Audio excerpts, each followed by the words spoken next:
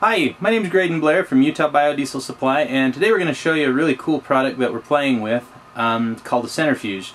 Uh, this one's uh, designed by WVO Designs. It's called the Raw Power Centrifuge. Uh, there's a, several different companies out there that you can take a look at, but this is the one that we chose to get to test. Um, centrifuges work simply by having a big rotor inside that spins and they use uh, centrifugal force to force um, crap in an oil, if you will, to the outside wall that you can then take off and discard. There's two holes in this unit, one on the outside and one underneath this bowl that you can't see. Um, the good oil hits the comes up and out these walls and the nasty oil nasty crap stays inside the bowl and water also stays inside the bowl and falls through these three holes in the center here. We're now going to show you what it's like when you spin it up.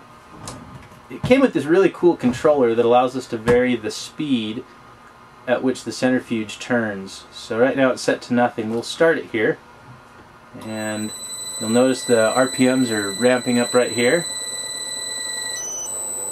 And we can take this one clear up to 6,000 RPMs. And it is uh, a lot of fun to fire this thing up. So the rotor is now spinning at 6,000 RPMs inside this thing. And um, imagine oil going in and hitting this and flowing out. Watch this, we can vary the RPMs on this bad boy. Take them down to about 3,000. There's right about 3,000, real close to it anyway. You can take it down lower. There's 2,300, 2,500 coming up here. Or if you want, you can just turn it right off. The engine acts as a brake or the motor, and it brings it down to a small level where you can pop it open. Um, centrifuges uh, of this design are pretty common. We looked at a three different designs, but they're they're basically all the same. You've got a big bowl, you've got the rotor in the center that spins, and beneath it you've got a big motor. And that motor is just hooked up to power. This one came as a kit. Uh, we were able to put it all together real simple. The instructions that came with it were great.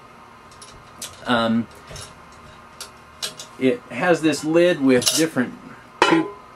This is the port for the in. I don't know if you can see that, but there's a piece right here that fits right down in there and as the oil goes through this port on top oil goes into here and flows through there this is a breather valve.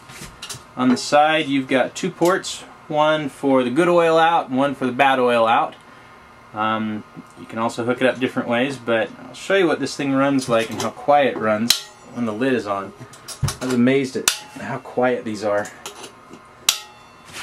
So again, we'll take this up to uh, 6,000 RPMs here.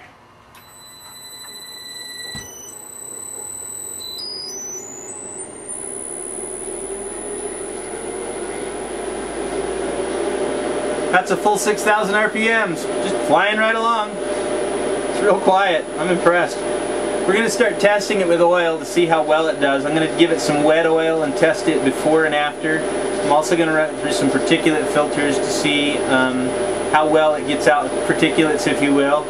We've heard really good things about centrifuges in general, so I'm kind of excited to see how well they do.